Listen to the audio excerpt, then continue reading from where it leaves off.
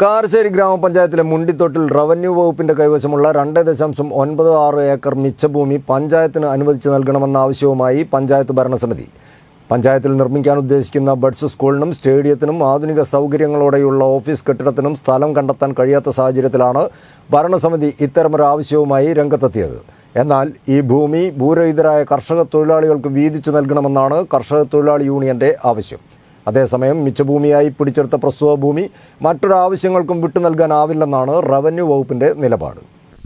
കാർശ്ശേരി ഗ്രാമപഞ്ചായത്തിലെ കുമാരനെല്ലൂർ വില്ലേജിലെ മുണ്ടിത്തോട്ടിലെ മിച്ചഭൂമിയാണ് വീണ്ടും ചർച്ചാ വിഷയമാവുന്നത്.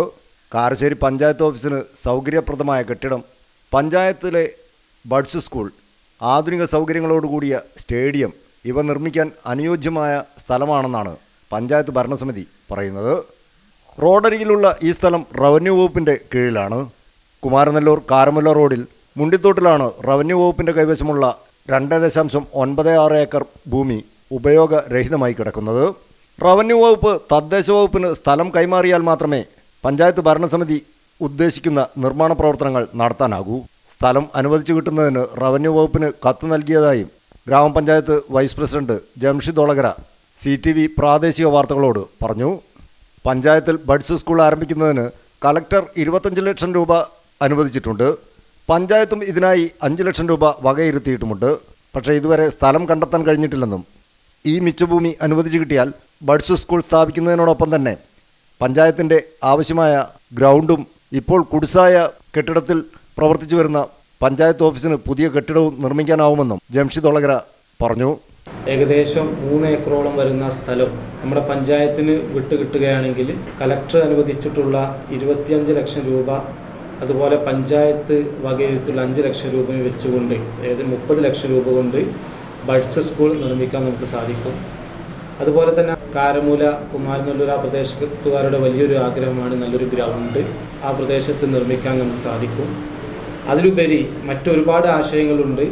പ്രത്യേകിച്ച് നമ്മുടെ ഈ പഞ്ചായത്ത് ഓഫീസ് അടക്കമുള്ള സ്ഥാപനങ്ങൾ മാറ്റുവാൻ ഒക്കെ അതിന് ഏത്തോളം മൂന്ന് ഏക്കറോളം വരുന്ന സ്ഥലത്ത് നമുക്ക് പ്രയോജനപ്പെടുത്താൻ സാധിക്കും.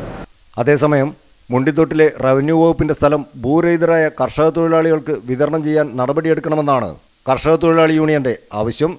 കഴിഞ്ഞ ഇടതുമുന്നണിയുടെ പഞ്ചായത്ത് ഭരണസമിതി ലൈഫ് മിഷൻ ഫ്ലാറ്റ് സമുച്ചയത്തിന് ഈ ഭൂമിയിൽ ശ്രമം നടത്തിയിരുന്നു എങ്കിലും മിച്ചഭൂമിയായതിനാൽ നടന്നില്ലെന്നും ഭൂരഹിതരായ കർഷക തൊഴിലാളികൾക്ക് ഭൂമി വീതിച്ചു നൽകാൻ സർക്കാർ നടപടി സ്വീകരിക്കണമെന്നുമാണ് കർഷക തൊഴിലാളി യൂണിയൻ ആവശ്യപ്പെടുന്നത്. രണ്ടേക്കർ തൊണ്ണൂറ്റിയാറ് സെന്റ് സ്ഥലത്ത് ഭൂരഹിതരായ കർഷക തൊഴിലാളികൾക്ക് പതിച്ചു കൊടുക്കണം എന്ന് കർഷക തൊഴിലാളി യൂണിയൻ നിരവധി തവണയായി ആവശ്യപ്പെട്ടതാണ്. അതിന്റെ സമരം ചെയ്തുകൊണ്ടിരിക്കുകയാണ്. എന്നാൽ മറ്റ് ചില ആവശ്യങ്ങൾക്ക് ഉപയോഗിക്കാൻ വേണ്ടി നേരത്തെ ഇടതുപക്ഷ മുന്നണിയുടെ പഞ്ചായത്ത് ഭരണസമിതി ഉള്ള സമയത്ത് ആ ഭൂമി ലൈഫ് മിഷന്റെ ഭവന സമുച്ചയത്തിന് നിർമ്മിക്കാൻ കഴിയുമോ എന്നൊരു ശ്രമം നടത്തിയിരുന്നു. പക്ഷേ അത് മിച്ചഭൂമി ആയതുകൊണ്ട് റവന്യൂ വകുപ്പിന്റെ കീഴിലുള്ള മിച്ചഭൂമി ആയതുകൊണ്ട് മറ്റൊരു കാര്യത്തിനും ഉപയോഗിക്കാൻ പറ്റില്ല എന്നാണ് മനസ്സിലാക്കാൻ കഴിഞ്ഞത്. അതിന്റെ ഭാഗമായിട്ട് തന്നെയാണ് ഭൂരഹിതരായ നിരവധി കർഷക തൊഴിലാളികളുണ്ട്. അവർക്ക് ഈ റവന്യൂ ഭൂമി അടിയന്തരമായി ഗവൺമെന്റ് ഏറ്റെടുത്തുകൊണ്ട് ഭൂരഹിതരായ കർഷക തൊഴിലാളികൾക്ക് വിതരണം ചെയ്യണം എന്ന് കർഷക തൊഴിലാളികളാണ് ആവശ്യപ്പെടുന്നത്. ഈ സ്ഥലവുമായി ബന്ധപ്പെട്ട് മുമ്പ് സ്വകാര്യ വ്യക്തിയും റവന്യൂ വകുപ്പും തമ്മിൽ കേസ് നിലവിലുണ്ടായിരുന്നു. മിച്ചഭൂമിയായി പിടിച്ചെടുത്ത സ്ഥലമാണിതെന്നും ഇത് മറ്റ് ആവശ്യങ്ങൾക്ക് ഉപയോഗിക്കാൻ കഴിയുന്നില്ലെന്നുമാണ് റവന്യൂ അധികൃതർ പറയുന്നത്. News bureau Mukkam.